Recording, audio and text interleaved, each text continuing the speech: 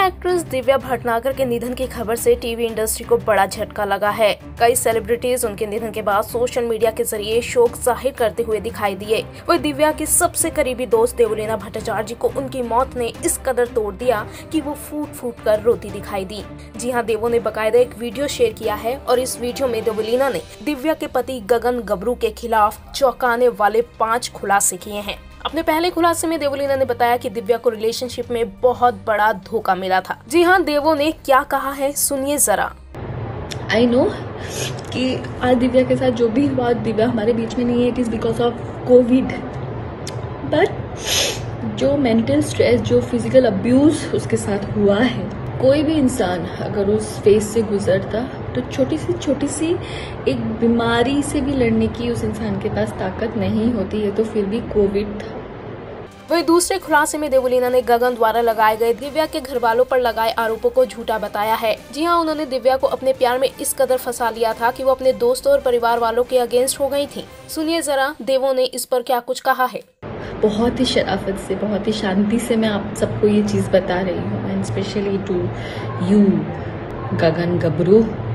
उस दिन तूने क्या पोस्ट किया था कि उसकी माँ और भाई तेरे रिलेशनशिप्स के अगेंस्ट थे। और वो नहीं चाहते थे तेरी शादी होए। और तेरे नाम पे वो पब्लिसिटी ले रहे हैं। तेरी औकात क्या है? क्या औकात है तेरी? तू कौन है? तो यहाँ पे जो चार, पाँच जो गिने चुने आर्टिस्ट को भी जानता है ना, वो दिव्या के बदौलत।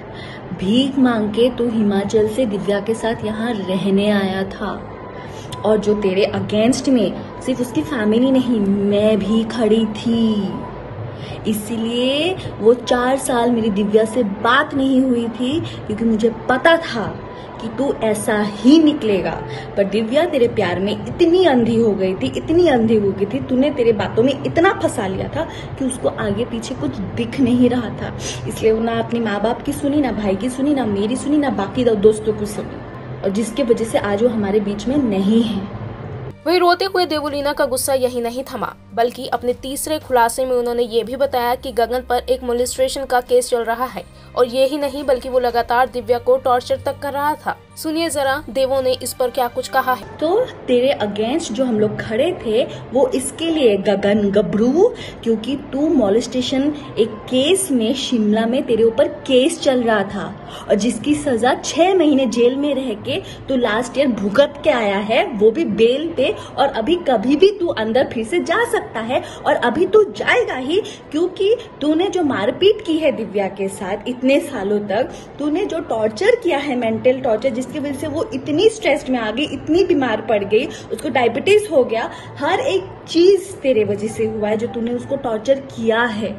वहीं देवो ने चौथा खुलासा करते हुए बताया कि दिव्या ने गगन के खिलाफ ओशिवारा पुलिस स्टेशन में दिव्या ने एनसी करवाया था और क्योंकि वो लगातार उनके साथ मारपीट करता था। सुनिए जरा, देवो ने इस पर क्या कुछ कहा है? इनफैक्ट इसका ओशिवारा पुलिस स्टेशन में भी दिव्या ने एनसी करवा के रखा है। करवा चौथ के दिन ये आया था और उस दिन भी मारपीट करके गया है उसके साथ। वहीं इन तमाम खुलासों के बाद देवोलीना ने पांचवा खुलासा करते हुए गगन को जेल भेजने की धमकी तक दी। और ये भी बताया कि दिव्या के साथ हुए एक एक घटना का प्रूफ देवोलीना जल्द ही एक्सपोज भी करेंगी। सुनिए जरा देवोलीना ने क्या कहा है। और एक तो शादी के बाद से ही वो दिव्या को रोज मार रहा है, उसकी ज्वेलरी भी चुरा के ले गया है। हर एक चीज़ इस आदमी ने जो दिव्या के साथ किया है विद प्रूफ मैं आप सबके सामने एक एक करके मैं एक्सपोज करूँगी।